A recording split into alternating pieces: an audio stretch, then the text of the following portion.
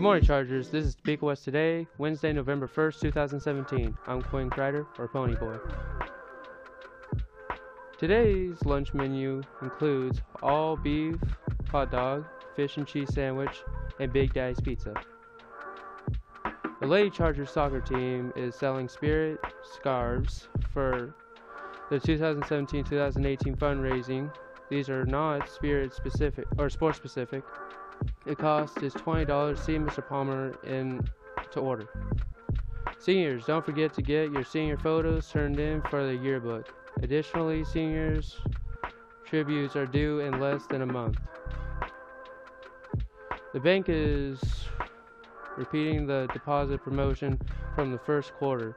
Any student who makes a deposit in a new or existing account through Friday, November 3rd is eligible to win a prize.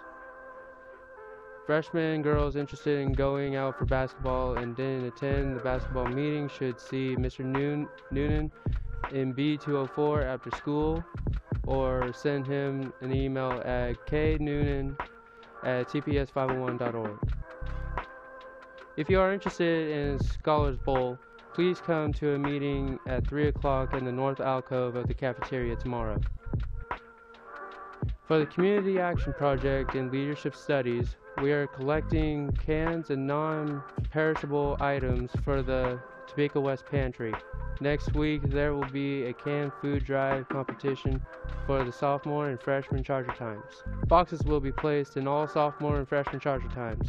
This this seminar from each this seminar from each class that donates the most items will be awarded a donut party. All items donated will help to support Topeka West students and ultimately support families during the holiday season. There will be a short softball meeting for anyone interested in trying out in the spring tomorrow at 3:15 in the South Gym. Spanish Club is having a movie night tonight in Ms. Riddle's room D403. It's also a potluck dinner, so bring any Hispanic food or drink that you'd like to share. There will be a meeting for all freshman boys interested in playing basketball, Tuesday, November 7th at 3:15 in the cafeteria. This meeting is mandatory. There will be a meeting for all senior, junior, and sophomore boys interested in playing basketball, Wednesday, November 8th at 3:15 in the cafeteria. This meeting is mandatory. All girls interested in spring soccer will meet Mr. Palmer meet in Mr. Palmer's room, Science 505 tomorrow after school. Congratulations to JROTC Air Rifle Team who won their match last week against Hirschi JROTC in Wichita Falls, Texas. We won by a score of 854 to 846.